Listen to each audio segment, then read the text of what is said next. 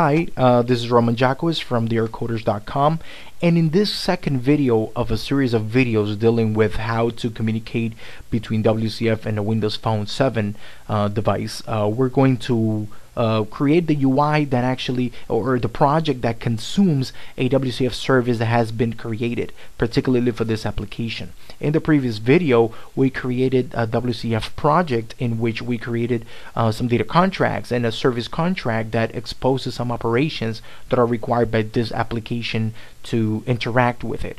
So we created a service called banking transaction and I can just do a little recap by right clicking on this and saying view in browser we, we see this service exposed um, and the WSDL and the WSDL generated. So we can actually tap into this resource from a Windows Phone 7 application consume this information send data whatever you want to do uh, or whatever this you know this, this WCF service allows us to do.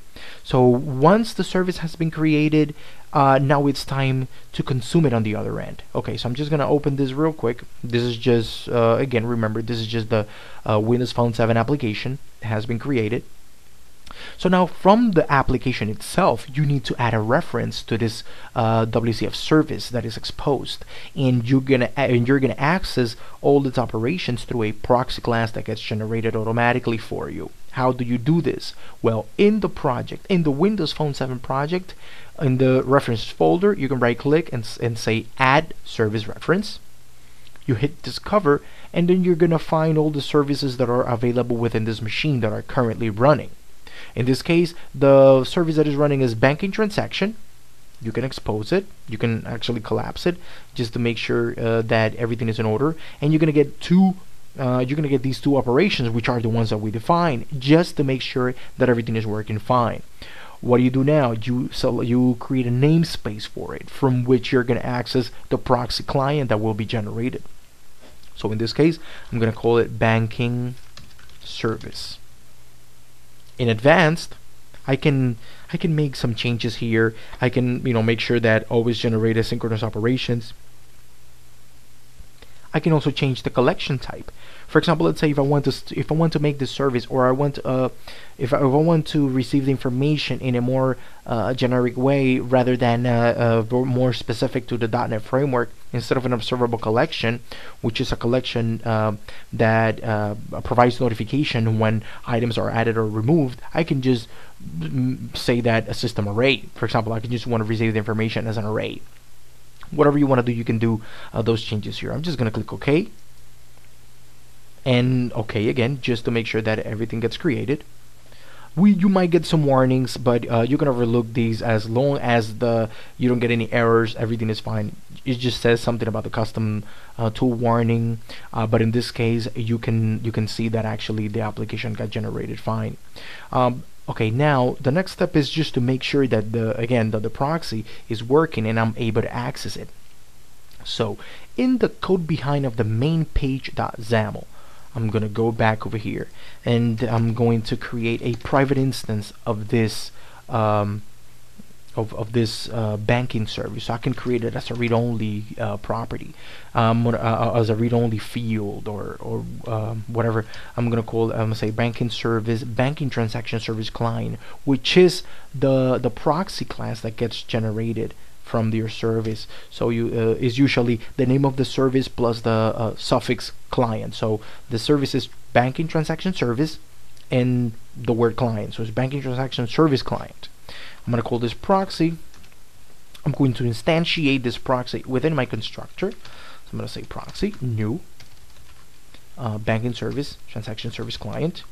After I have instantiated, I need to handle the proper uh, events and uh, asynchronous operations. Remember that Silverlight handles uh, its operations in asynchronous fashion. The same. Uh, so then, when it communicates with WCF, it does it asynchronously. So it puts uh, it, it, it puts an asynchronous operation, it invokes an asynchronous operation, and um, that the, the whole operation happens asynchronously. So you need to handle uh, when the when the response comes back, since it doesn't come right away.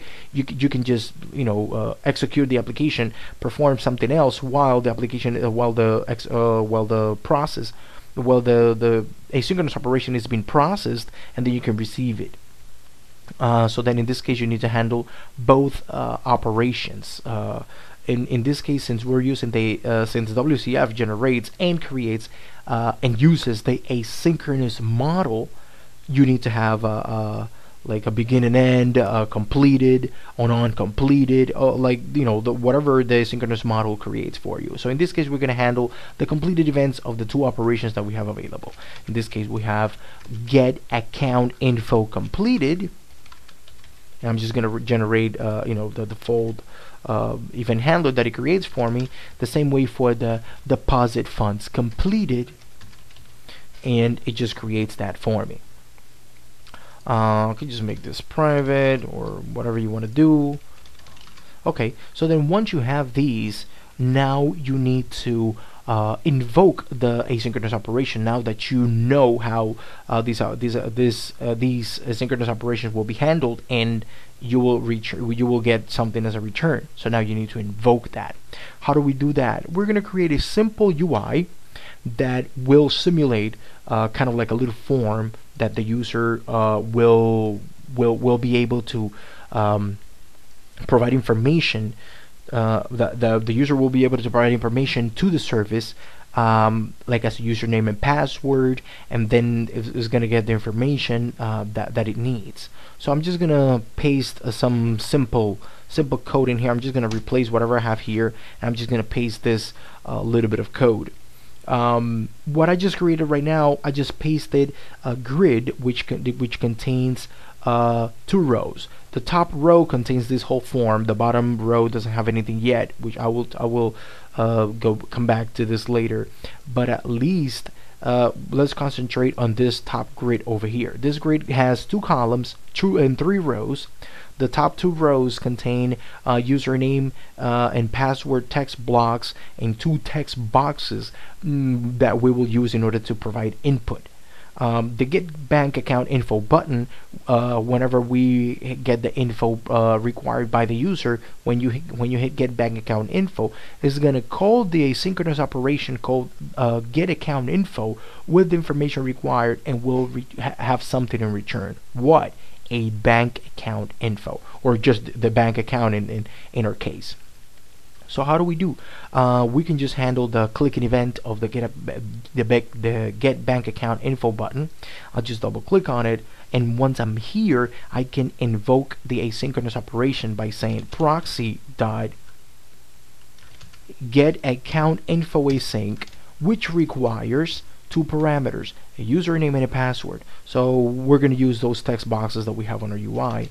This one is called uh, txt username, so I'm going to pull the text out of that, and I'm going to say txt password, and I'm going to pull the password property from it once I have once I've uh, uh, provided the information to the asynchronous operation now it's just a matter of knowing what we're going to receive on the other end so why don't we just create a you know simple local variable here, and we're gonna we're gonna we're gonna pull whatever we got out of the result uh, uh, out of the result property of the asynchronous operation.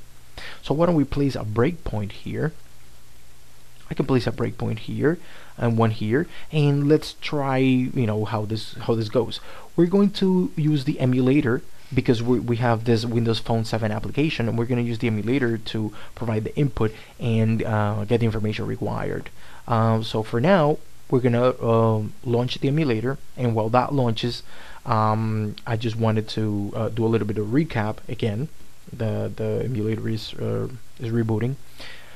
What we're going to do is we're going to provide the input through that form. We're going to provide the username and password. Remember that is not being applied or acted upon on the service side. After we've provided the username and password on this simple form, we're going to invoke the get bank account, the get account info uh, asynchronous operation by passing this information. Then remember, this operation returns a bank account object which we can consume on the UI. Uh, that way you can simulate that like the user has been authenticated and that you can get information back. So um, let's just wait until the the, the emulator uh, finishes loading and then we should be able to have uh, uh, it should deploy the application into the Windows Phone. Um, again we're, we're just gonna be using some you know some fake information. There's no validation on the other end. We're just gonna you know check how how how it does it okay the application has been deployed and we have a little form that uh, the little form that we created. So I'm gonna provide in the username I'm just gonna provide I'll say Roman and for the password whatever. Just gonna type some bogus password.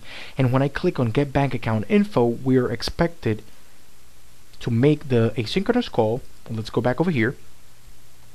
We have Roman. We have uh, the password whatever the password was and I'm going to hit F5 so I can hit the other breakpoint and that will simulate and that will actually go to the service perform that operation on that and come back and return to me like the banking info. So is calling the service. Now when we get as a result what do we get? We get a bank account object. The bank account object got created on the service and got re in, in, in returned back to us. We have the bank account number we have the balance and we have this information we still don't know what to uh, you know what are we going to do here? Uh, okay so we just get the information and everything is fine. So that's how you let's say how you make the call and then you get the information required.